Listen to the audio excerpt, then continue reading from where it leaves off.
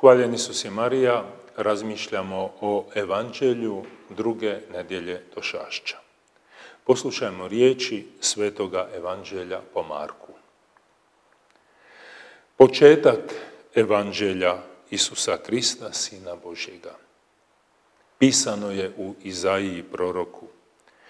Evo šaljem glasnika svoga pred licem tvojim da ti pripravi put. Glas viće u pustinji. Pripravite put gospodinu, poravnite mu staze. Tako se pojavi Ivan. Krstio je u pustinji i propovjedao krst obraćenja na otpuštenje grijeha. Grnula k njemu sva judejska zemlja i svi jeruzalemci. Primali su od njega krštenje u rijeci Jordanu, ispovjedajući svoje grijehe. Ivan bijaše odjeven u devinu dlaku s kožnatim pojasom oko bokova. Hranio se skakavcima i divljim medom. I propovjedao je. Nakon mene dolazi jači od mene. Ja nisam dostojan sagnuti se i odriješiti mu remenje na obući. Ja vas krstim vodom, a on će vas krstiti duhom svetim. Ovaj odlomak nalazi se na samom početku Evanđelja po Marku i to vidimo iz prve rečenice koja glasi početak Evanđelja Isusa Krista, Sina Božjega. U ovoj prvoj rečenici nama je već otkriveno tko je Isus Krist. On je Sin Božji. Taj Isusov identitet neće biti tako odmah otkriven njegovim učenicima i drugim ljudima kojima će Isus propovijedati, s kojima će se susretati. Oni tek gledajući Isusova djela, slušajući njegove riječi, trebaju otkriti i da je on Krist, pomazanik Mesija i da je on sin Božji. I to će se doista i dogoditi. Kada Isus bude pitao svoje učenike što kažu ljudi tko sam ja i što vi kažete tko sam ja, onda će u ime ostalih učenika Petar reći ti si Krist, pomazanik. Prepoznao ga je kao Mesiju, kao onoga kojega su navještali proroci.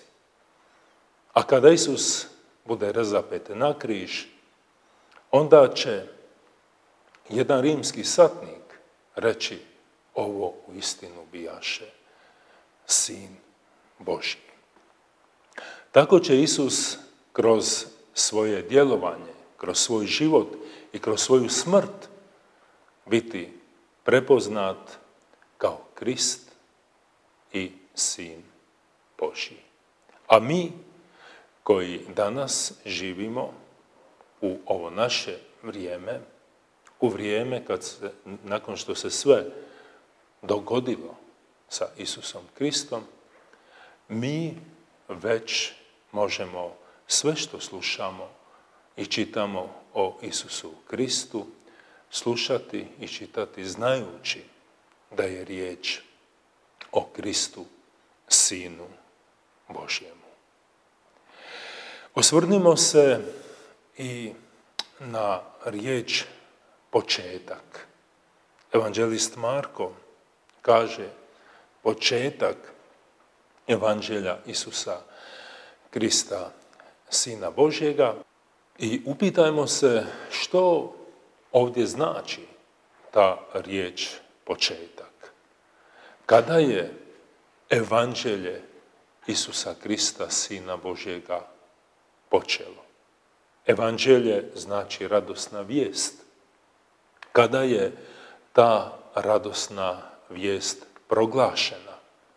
Je li ta radosna vijest proglašena tek onda kada se Isus rodio ili onda kada se pojavio i započeo svoje javno djelovanje ili je to bilo puno prije. Evanđelist Marko kaže nam da je to bilo prije. Nakon rečenice početak Evanđelja Isusa Krista, Sina Božjega, Evanđelist Marko navodi jedan citat iz proroka Izaije. Zapravo nije riječ o doslovnom citatu. Ako netko želi istražiti, može vidjeti da je zapravo riječ o jednoj parafrazi, o jednom prerečenom tekstu u kojem evanđelist Marko ne koristi samo citat iz proroka Izaije, nego ga kombinira i sa jednom rečenicom iz proroka Malahije. Ali on kaže samo pisano je u Izaiji proroku, čime zapravo želi reći da Izaija, kao jedan veliki prorok, ovdje predstavlja sve proroke koji su navještali Kristov dolazak. Prorok Izaija koji je izgovorio ove riječi glas viće u pustinji, pripravite put gospodinu, poravnite mu staze, napisao je to, te riječi u kontekstu povratka židova iz babilonskog progonstva, gdje je povratak iz, iz progonstva naroda u zemlju iz koje su bili izgnani, zapravo poistovjećen sa dolaskom samoga gospodina, što znači da, i da se i narod i gospodin susreću na istome putu koji treba pripraviti. Tako u prvom dijelu evanđelist Marko govori da je početak evanđelja sve ono što je prethodilo Kristovu dolasku, svi oni proroci koji su njegov dolazak navijestili, već tada je počelo evanđelje, već tada počela je radosna vijest koja se u Isusu Kristu ispunila. A neposredni preteča Kristova dolaska bio je Ivan koji je dobio i nadimak krstitelj i on je najavio Kristov dolazak ne kao nešto što će se dogoditi u dalekoj budućnosti, nego je najavio Krista kao onoga koji dolazi neposredno nakon njega. U ovom odlomku evanđelist Marko posvećuje dosta pažnje liku Ivana Krstitelja. On je krstio u pustinji i propovjedao krst obraćenja na otpuštenje grijeha. Dakle, krštenje koje se obavljalo tako da je Ivan uranjao ljude u vodu Jordana, popraćeno je propovjedanjem obraćenja i ispovjedanjem grijeha koje su činili ljudi koji su primali od Ivana krštenje, što znači da je Ivanovo krštenje e, jedan znak kojim se pokazivalo da ljudi koji se krste mijenjaju svoj način života. Krštenje koje je Ivan obavljao bilo je u, u vrijeme u kojem je on živio i nešto neobično. Vjerojatno je zato i dobio nadimak krstitelj, jer su u židovskoj religiji postojala mnoga obredna pranja koja su se činila često kada je god to bila potreba. Ali ovdje se ne radi o takvom jednom obrednom pranju od, od kojeg se, u kojem se čovjek čisti od obrednih nečistoća, nego se radi o činu koji se obavlja jednom u životu, što znači da se radi o jednoj korjenitoj promjeni života. Evanđelist Marko opisuje i Ivanovu odjeću. To je neobično, jer je vrlo rijetko u Bibliji da se opisuje nečija odjeća i hrana, jer evanđelist Marko govori o tome čime se Ivan hranio, pa kada se to opisuje, onda znači da to ima jedno posebno značenje, znači da je to važno. Prisjetimo se da je Ivan potjecao iz svećeničke obitelji. Njegov otac Zaharija bio je svećenik i sigurno nije bilo uobičajeno da svećenici nose odjeću od devine dlake. Svećenici su se odjevali, recimo tako, finijim materijalima. Međutim, Ivan nosi odjeću od devine dlake da bi pokazao ne samo riječima, nego i na svom vlastitom životnom primjeru da on propovijeda krst obraćenja. Bio je opasan kožnatim pojasom oko bokova. Ovo je također jedna zanimljivost, jer u čitavom svetom pismu kada gledamo ima li još jedna osoba koja je imala kožnati pojas oko bokova, pronalazimo da je to bio još samo jedan lik i to prorok Ilija, koji je prepoznat upravo po, po tome što je nosio kožnati pojas oko bokova.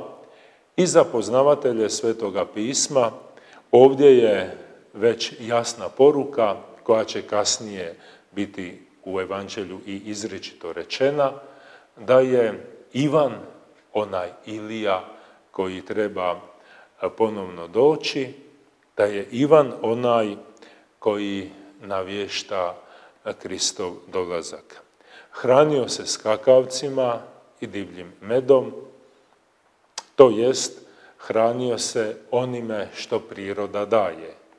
To ne znači da je Ivan time prezirao plodove ljudskih ruku, plodove ljudskog rada od kojih čovjek treba živjeti, nego hraneći se onim što je nalazio u prirodi, poručuje da je njegova hrana ono što sam Bog daje.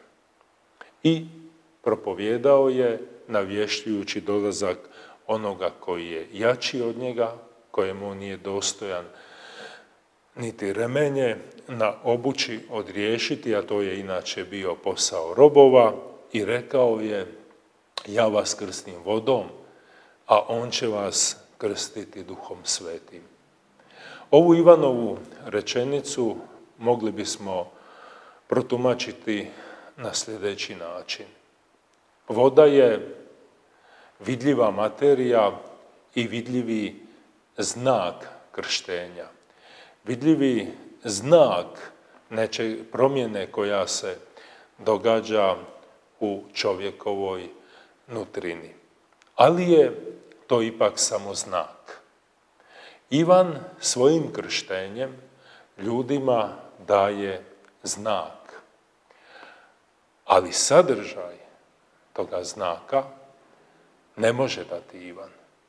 Sadržaj toga znaka, a to je zajedništvo s Bogom, može dati samo onaj koji krsti duhom svetim. Jer duh sveti je čimbenik zajedništva s Bogom. Nema zajedništva s Bogom bez duha svetoga. I to zajedništvo daje nam Sin Boži, Isus Krist, koji je, e, čiji je identitet otkriven u prvoj rečenici Evanđelja po Marku, da bi nas po duhu svetom uveo u sinovski odnos s ocem. To ne može učiniti Ivan, to može učiniti samo Isus Krist, Sin Božji.